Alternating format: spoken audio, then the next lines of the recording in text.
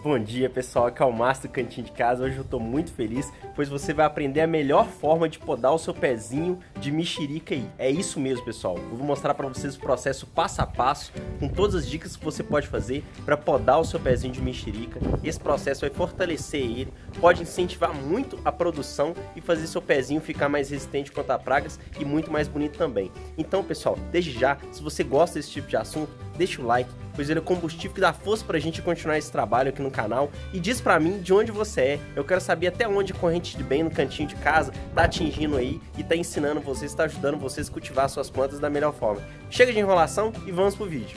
É isso aí. Pezinho de mexerica tá plantado nesse vasinho aqui de apenas 40 litros. Não necessariamente esse processo que funciona só para mexerica em vaso, não. Você pode fazer esse processo para qualquer frutífera. Primeira coisa que a gente tem que é, ficar de olho, pessoal, em relação à formação da planta. A formação da planta tem que ficar em forma de taça. Então a primeira coisa que eu vou fazer vai ser tirar esses galhos aqui, pois eu vou deixar a minha taça formada só nesse galho aqui. Beleza? Então eu vou começar retirando esses galhos aqui.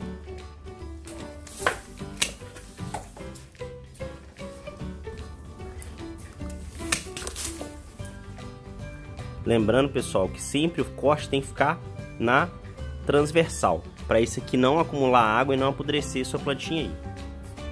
Outra coisa que a gente tem que tomar cuidado, pessoal, em relação à parte interior da planta. Como vocês podem ver aqui, ela está muito cheia de folhagens. Então eu tenho que deixar a parte interior dela respirar. Isso aqui ajuda muito a prevenção contra pragas. Então vou tirar esses galhos centrais que estão aqui.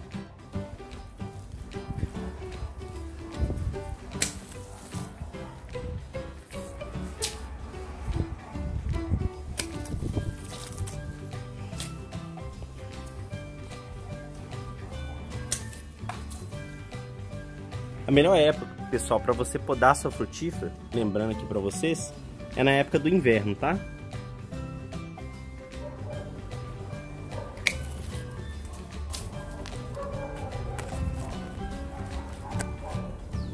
Esse galho aqui, como ele está crescendo para dentro, então vou retirar ele também.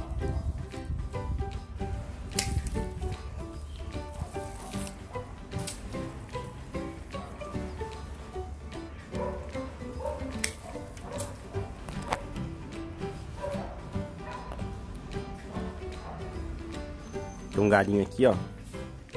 Crescendo pra dentro também. Vou tirar ele. Esse galinho aqui que tá crescendo pra dentro também, eu vou tirar ele. Como aqui eu tenho uma formação muito cheia, que estão encontrando esses dois galhos muito cheios aqui, eu vou retirar esse aqui para dar uma aliviada para a planta aqui. Aqui em cima, pessoal, tem uma situação muito importante que eu tenho que tomar cuidado, principalmente eu que, que cultivo frutíferas em vaso, que em relação à altura. Ela tá ficando muito alta, então eu vou ter que controlar esse crescimento aqui. Então vou podar o galho aqui para ela não ficar tão alta mais. Vou deixar os galhos mais ou menos nessa altura que ele já tá aqui mesmo.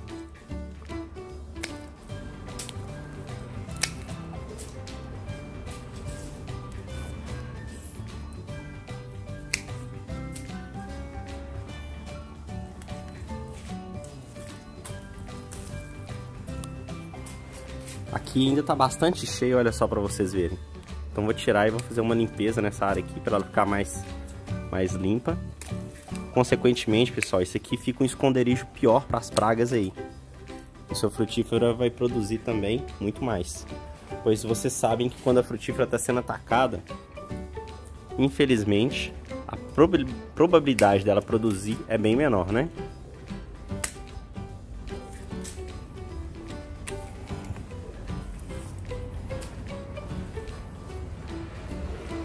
Aqui ainda está um pouco cheio, então vou retirar um pouco aqui também.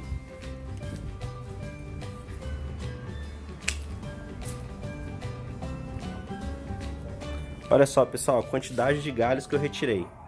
Parece que é muito, mas isso aqui vai fazer muita diferença para a formação dela. Agora ela tem um entroncamento principal só, em vez daquele tanto de entroncamentos que ela tinha anteriormente aqui.